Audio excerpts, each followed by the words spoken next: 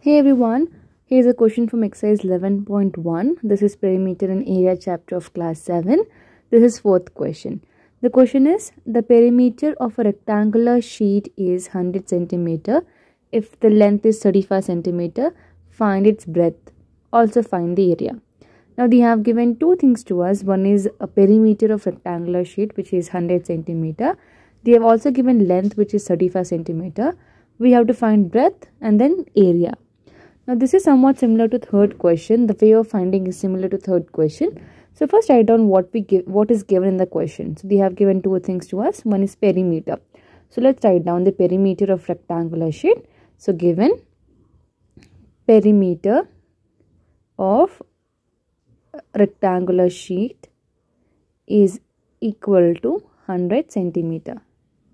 This is first thing which we know from the question. Second thing is length, recta- length of rectangular sheet. So length of rectangular sheet rectangular sheet is equal to 35 centimeter. Now we're going to use the perimeter formula because we have to either we have to use length and perimeter.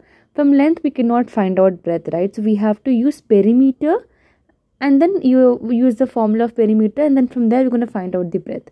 So we know perimeter of rectangle right? So perimeter of rectangular rectangular sheet or perimeter of rectangle is equal to i'm going to first write down the formula of perimeter. So perimeter of rectangular sheet is 2 into l plus b. This is formula.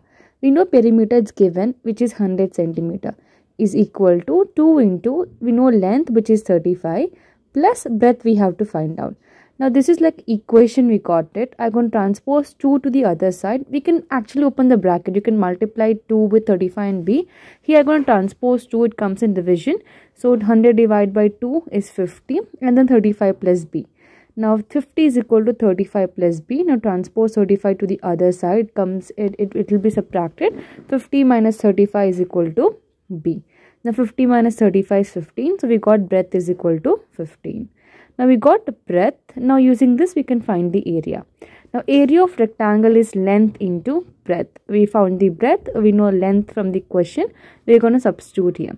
So length is L is equal to 35. 35 centimeter and breadth is 15. So we're going to multiply this. When you multiply this two, we'll get 5,200, uh, 525 centimeter square. So that's it. I hope this is clear. In case you have further question or doubt, drop a comment below. Thank you so much for watching.